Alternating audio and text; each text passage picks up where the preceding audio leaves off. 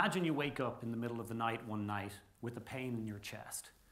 At first, you're thinking maybe that curry wasn't such a good idea after all. But the pain doesn't go away, and eventually you become concerned. Concerned enough that you decide to call an ambulance and get to the hospital. And you get to the hospital, and you're not there very long when you go into cardiac arrest. Now, if you've watched as much TV as I have, you're probably expecting the scene to look something like this.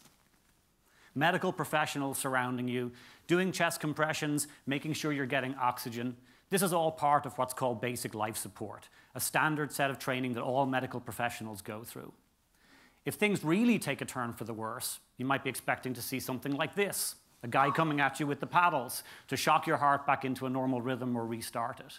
This is part of what's called advanced cardiac life support, and again, is something all medical professionals get trained on. What you're probably not expecting to see is something like this, where they're cracking open the textbooks over your bed, looking up what they should do next, while somebody in the corner takes out their phone and Googles resuscitation techniques. and of course, that's not what you'll see. Medical professionals are highly trained, and it'll be more like the first two pictures. But this might not be too far from what could happen than you might think. In 2008, a study was published that followed a cohort of nurses. Now, they'd all been trained in basic life support and advanced cardiac life support. They'd passed their certification and they were moving on from that. But what the study did was follow the nurses for the next 12 months and periodically retest them to see how much they'd retained. And what they found was with basic life support, after only three months, the percentage of nurses that could still pass the certification had dropped to 63%. And over the course of a full year, it dropped a little bit more to 58%. The situation with advanced cardiac life support was considerably worse. After three months, it had dropped to only 30%. Only three in 10 nurses could pass the certification requirements around advanced cardiac life support. And by the end of a year, it had dropped to 14%. Barely more than one in 10 could still pass the certification. And the recertification period for this material is two years. So when I see this data, three things pop into my head, and I'm sure it's the exact same three things that are popping into your head right now, because I think it's the same three things any reasonable person would think when exposed to this data. The first is, I hope I never wake up with anything more severe than indigestion. The second is, do I really need to know how to do this stuff for myself? Because I'm going to need to watch a lot more Grey's Anatomy if I do. Those guys seem to really know what they're doing. But third, people are not really surprised at the notion that we forget things that we learn pretty quickly, but they're usually very surprised at how much we forget and how quickly it actually happens. And here we're dealing with trained professionals that are highly motivated, working in a very high stakes environment that they take very seriously. So it's the best possible circumstance in many ways. But it turns out it's not their fault. It's actually got very little to do with how motivated you are, very little to do with how smart you are, and even very little to do with the educational material itself. It's much more to do with three million years of evolution and how the brain works, and how misunderstood we've been in our ways of teaching people things and expecting a better result than this. Now, it turns out we've actually known this for quite a long time. 130 years ago, a German philosopher and scientist called Hermann Ebbinghaus conducted one of the first scientific studies into long term retention. And what he found in having people memorize patterns of gibberish and then testing them over time was what now is called the forgetting curve. And it's a slope of a curve that shows just how quickly people forget things. And much like the nurses study, it's far faster than most people think. It turns out that as little as 30 days after you've learned something, 79% of it is gone. So you're only remembering 20% of it. And in fact, most of the loss happens in the hours and days right after the learning event finishes. So if we've known all of this, why have we not done something different about it? Why do we continue to teach things in the same way and expect a different result? Well, part of the answer might be that although we understood empirically that this was happening, we didn't understand why. We didn't understand the neurophysiological processes that were going on. And in the last 20 years, that started to change, largely as a result of the development of a technique called functional magnetic resonance imaging.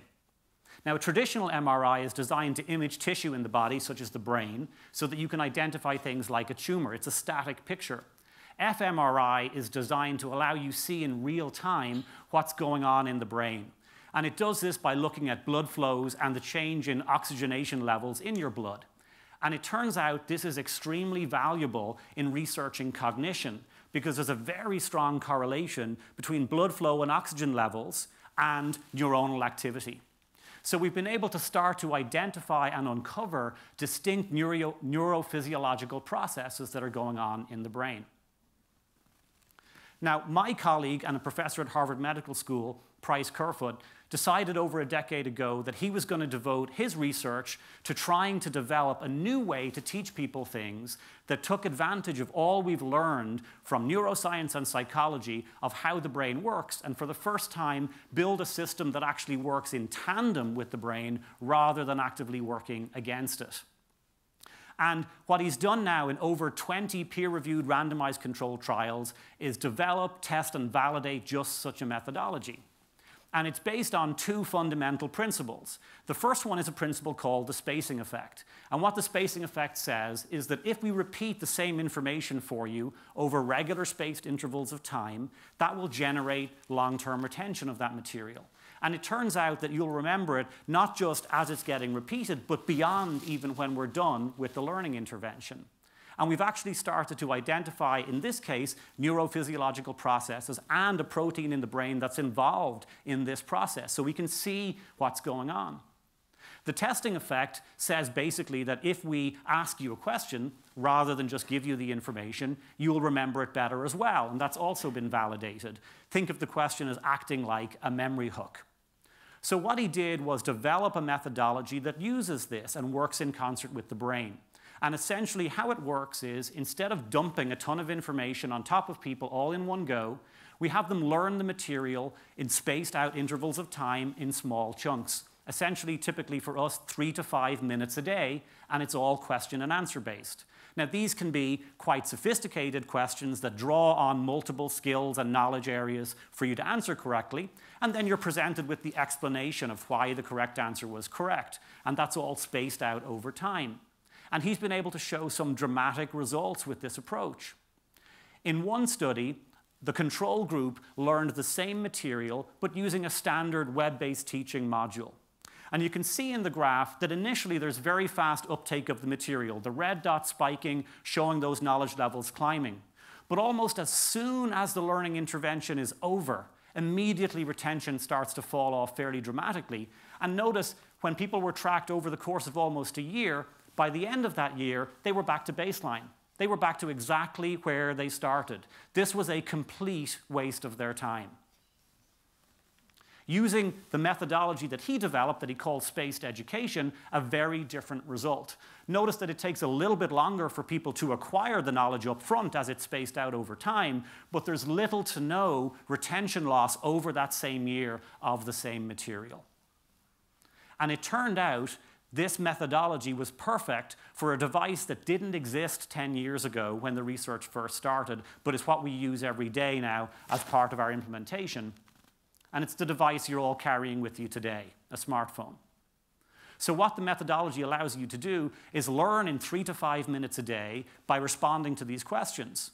We've implemented the methodology in software in an adaptive way that actually adapts to how people respond. So as people demonstrate mastery in one area, we don't bother them with it anymore. As they're struggling, we show them that material more often. And the spacing intervals are handled automatically. All anybody has to do is when their phone buzzes on a given day, take three minutes at some point during that day to respond to the questions and read the material. And not only has Price been able to show extensions to retention, but he's also been able to translate that into behavior change and beyond. So in one study that he conducted with urologists, urologists were learning a new set of guidelines for when to perform a particular test for prostate cancer called a PSA test. The test is somewhat controversial because it has a high rate of false positives. So a lot of people get told they have cancer when they actually don't.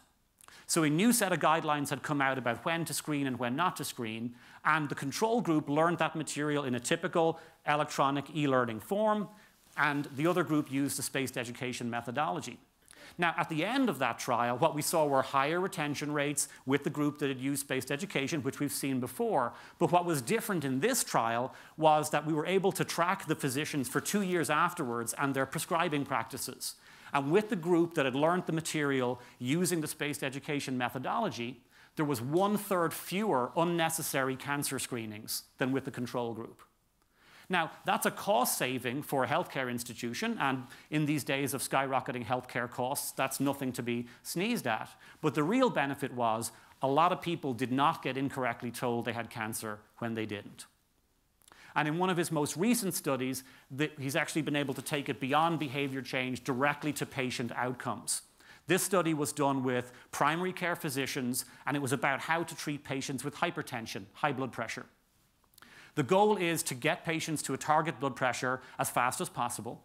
And again, here, what tends to happen is physicians tend not to be as aggressive as they should be initially in treating the hypertension.